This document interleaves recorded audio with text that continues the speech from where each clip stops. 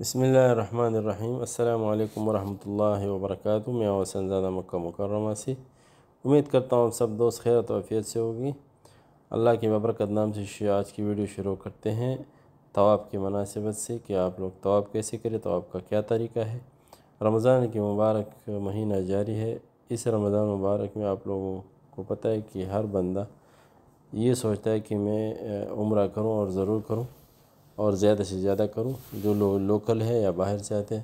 آپ لوگ دیکھ سکتے ہیں بہت رش ہوتا ہے۔ جو مطاف کا جو کعبے کے ساتھ مطاف ہے، اس میں صرف محرمین کی اجازت ہے۔ محرمین اس کو کہتے ہیں جو احرام باندھا ہوتا ہے عمرے کے لیے۔ اور جو نارمل طواب ہے سیکنڈ فلور اور تھرڈ فلور اور اس پہ ہو جاتا ہے۔ تو آپ لوگ جو ہے نا، اگر طواب کرنے کا جو ٹائم ہے، وہ تو آپ لوگ ہر ٹائم کر سکتے ہیں۔ لیکن اگر آپ رش اور بہت بھیڑ سے اپنے آپ کو بچانا چاہتے ہیں تو آپ لوگ صبح یا تقریباً دس بجے یہ ٹائم بہت ضروری اچھا ٹائم ہے، اس میں آپ آرام سے کر سکتے ہیں۔ طواف کا طریقہ ہے کہ آپ لوگ حج ریاست سے شروع کرتے ہیں اور حج ریاست پہ ختم کرتے ہیں۔ طواف میں کوئی ایسی دوا نہیں ہے جو مصنون ہے، لیکن ایک ہی جگہ ہے جس میں آپ لوگوں نے رسول صلی اللہ علیہ وسلم حدیث کے مطابق ربنا آتنا فی الدنیا حسنتا و فی الاخرت حسنتا وقنا عذاب النار. یہ رکن یمانی سے حج ریاست کے درمیان جو جگہ ہے، اس یہ رکن یمانی کی جو کارنر ہے، اسے حج ریاست کے کارنر تک یہ دعا آپ لوگوں نے کثیر تعداد میں پڑھنا ہے۔ باقی طواب میں آپ لوگ دل میں جو دعا آ جائے وہ پڑھ سکتے ہیں۔ طواب میں یہ ہے کہ بڑا رش ہوتا ہے۔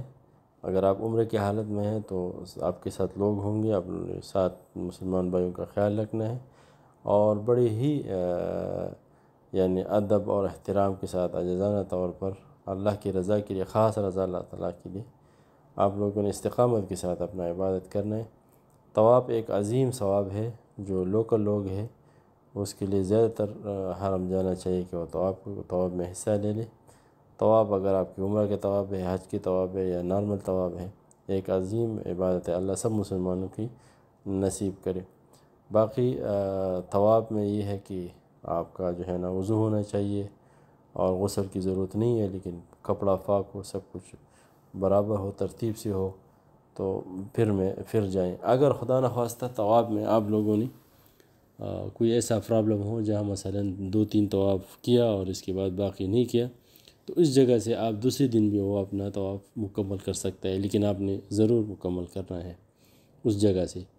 اور ختم کرنا ہے، آپ لوگوں کو میں نے بتایا، جو گرین لائٹس ہے، اس سے شروع کر رہے ہیں، جو حجرت کے حجر اسد کے سامنے اور حجر اسد کی پہ ختم ہی کرنا ہے۔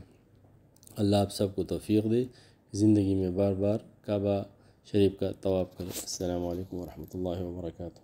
تقبل اللہ من ومنکم على ساحل الاعمال